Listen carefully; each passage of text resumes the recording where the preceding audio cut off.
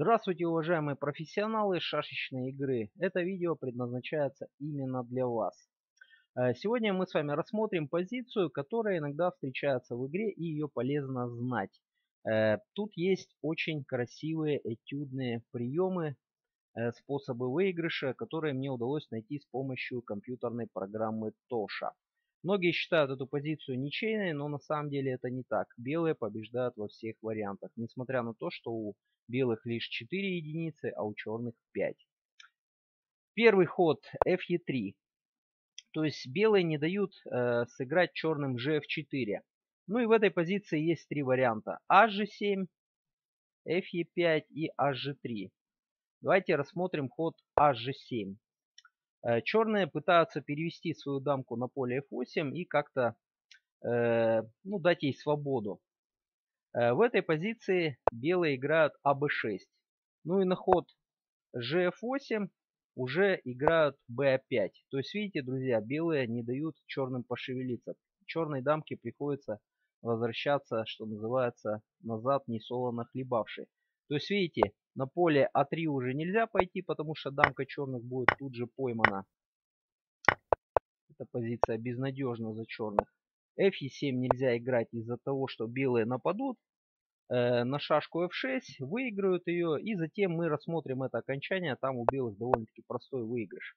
Поэтому в этой позиции черным остается только возвращаться назад. Теперь белые играют дамкой на поле D6, снова видите нет нападения. Э, G8 из-за того, что белые ловят тут же дамку черных и празднуют победу.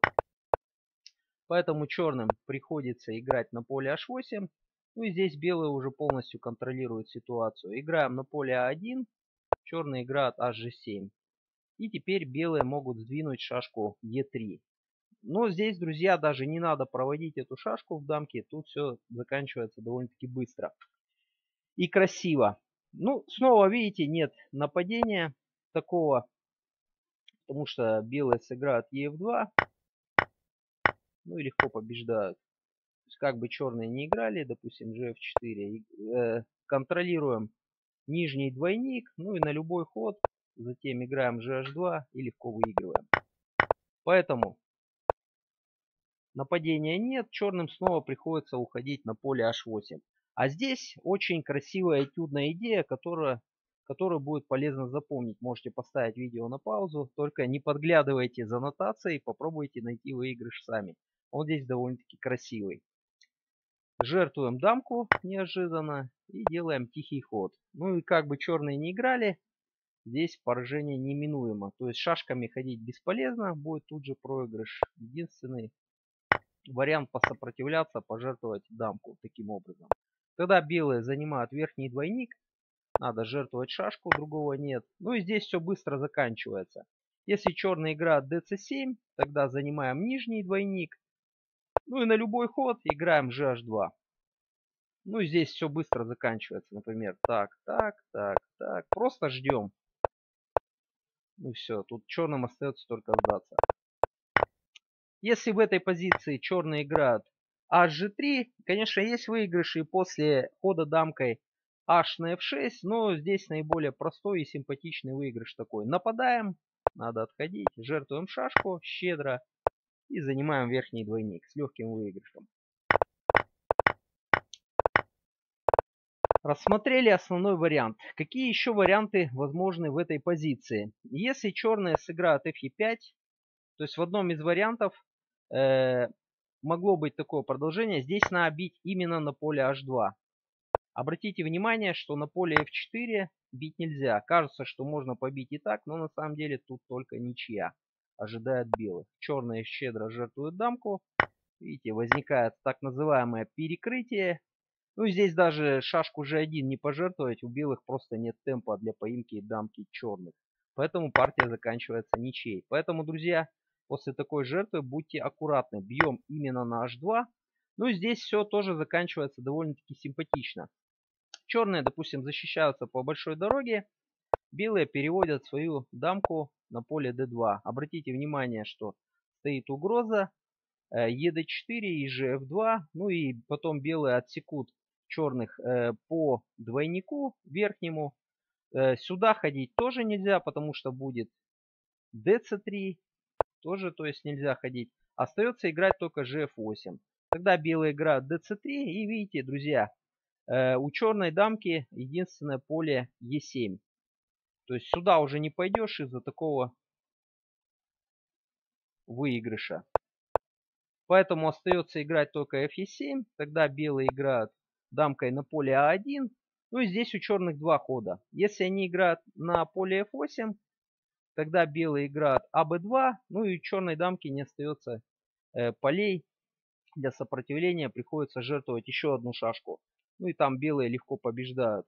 Они построятся, они проведут шашку e3. То есть если черные пожертвуют шашку таким образом, мы бьем дамкой. Затем проводим шашку э, в дамке. Ну и построимся вот таким образом. И дамка черных будет поймана в любой точке доски. Поэтому а, э, сюда нельзя снова, то есть подождали, просто поймали дамку черных. А на поле Е7 играть нельзя, потому что такой ударчик симпатичный стоит. И белые легко побеждают. Соответственно, если бы в этой позиции черные сыграли на поле d8, снова играем АБ2, F7 нельзя играть снова из этого ударчика выигрышем. А если играть, допустим, сюда, то тогда дамка черных ловится. Понятно. Вот такой простой выигрыш. Если э, черные в этой позиции сыграют, пожертвуют шашку ходом f5. Если черные жертвуют шашку ходом hg3, здесь выигрыш посложнее, но довольно-таки симпатичный тоже. Черная играет hg7. Белые сразу же переводят э, дамку h2 на поле d6. Ну и снова не дают, видите, нападения. Не дают активизироваться черной дамке из-за простой ловли. Поэтому черным приходится снова уходить назад. Тогда переводим э, дамку а7 на э, поле b8. Черная играет hg7. И э, белые здесь полностью уже запирают черную дамку в таком домике. Кажется ничейное окончание, но на самом деле это не так. Черные сопротивляются сильнейшим образом, то есть не надо сдвигать шашки. Это сильнейшее сопротивление. Играем на g3. Ну и вот тут уже надо играть gh4. Другого нет. А если черные играют hg7, тогда играем на поле h4. Видите, полностью связали черных. У черных остается единственный ход. Ну и здесь э, выигрывает тоже единственный ход. Красивый. Можете э, остановить видео и попытаться найти выигрыш за белых. Единственный ход. Играем дамкой на поле d6. Другого нет. Ну и видите, hg7 уже нет из-за простого из-за простой отдачи дамки и белые побеждают. Поэтому остается только играть gf4. Э, ну тогда бьем на поле g3 или на поле h2. Ну и грозим побить шашку f6 еще до кучи. А если черные закрываются таким образом, тогда нападаем. Ну и черным остается только сдаться.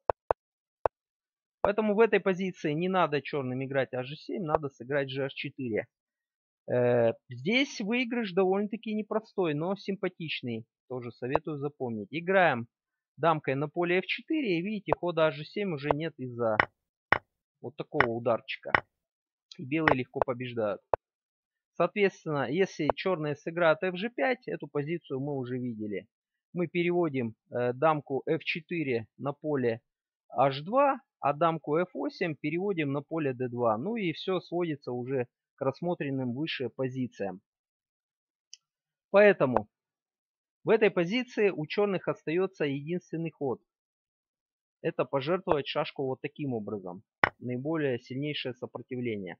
Ну, hg7 бесполезно играть, потому что просто отдадим дамку и выиграем. Поэтому приходится играть fe5.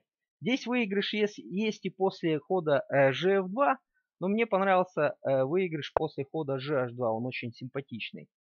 Ну, бесполезно тут размениваться таким образом. Белые сыграют просто hg7, ну и легко выигрывают. Можете убедиться сами. Поэтому остается играть дамкой только на поле f6. Теперь играем на поле b4. Ну, если черные уходят на поле h8, белые здесь легко побеждают. Играем дамкой на поле e1. Соответственно, видите, дамкой на f6 уже нельзя играть из-за такой комбинации. Простенько, но симпатично.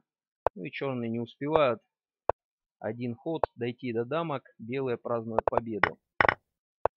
Соответственно, если размениваться таким образом черным, тогда нападаем, надо отходить.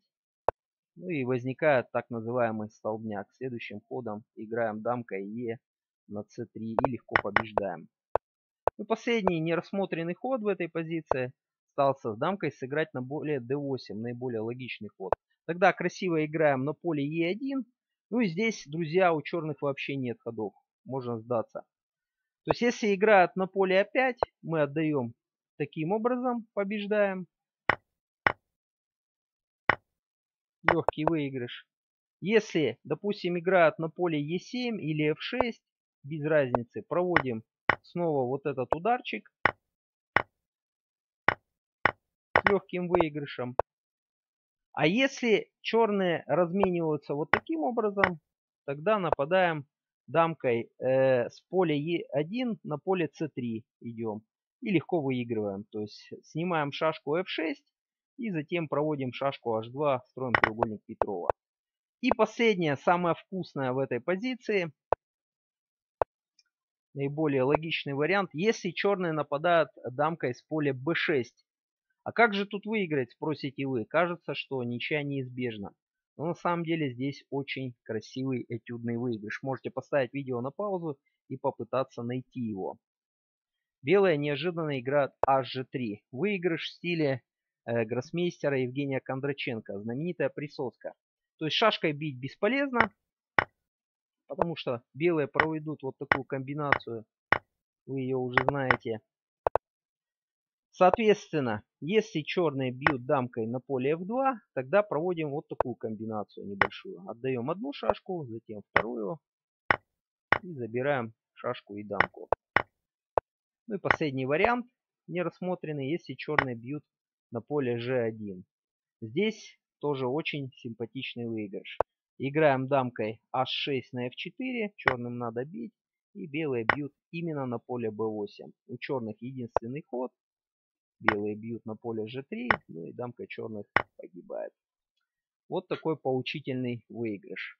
Если вам понравилось данное видео, а я думаю, что оно не может не понравиться, все очень красиво, ставьте лайк, поддержите канал подпиской, пишите ваши комментарии, задавайте вопросы, если что-либо не ясно, отвечу на все вопросы.